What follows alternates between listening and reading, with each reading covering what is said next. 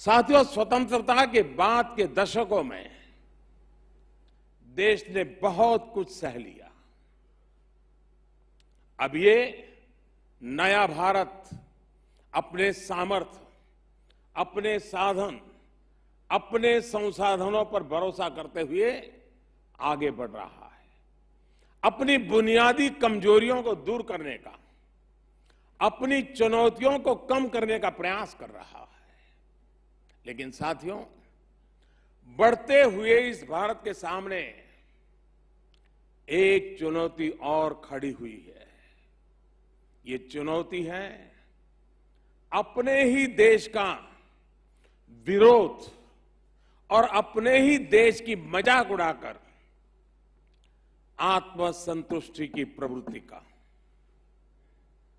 मुझे आश्चर्य होता है कि आज जब पूरा देश हमारी सेना के साथ कंधे से कंधा मिलाकर खड़ा है।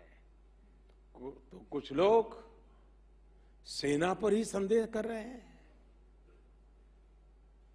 एक तरफ़ आज पूरा विश्व आतंक के खिलाफ लड़ाई में भारत का साथ दे रहा है। तो दूसरी तरफ़ कुछ पार्टियाँ आतंक के खिलाफ हमारी लड़ाई पर संदेह कर रहे हैं।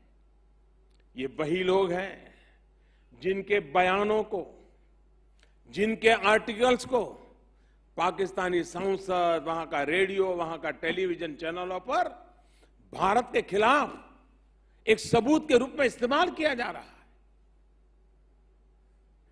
ये लोग मोदी विरोध करते करते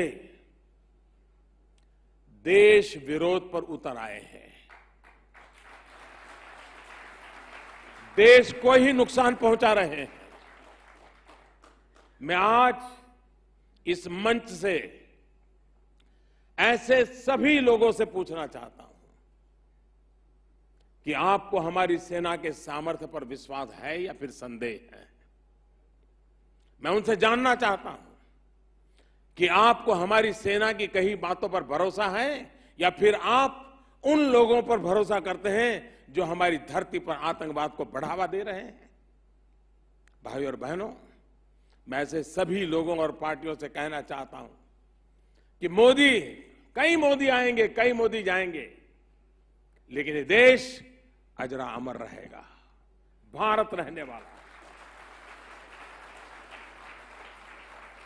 और इसलिए मेरा आग्रह है उनसे, कृपया अपने राजनीतिक फ़ायदे के लिए, अपने बौद्धिक अहंकार की पुष्टि के लिए, देश की सुरक्षा से खिलवाड़ करना छोड़ दीजिए, भारत को कमज़ोर करना बंद कर दीजिए।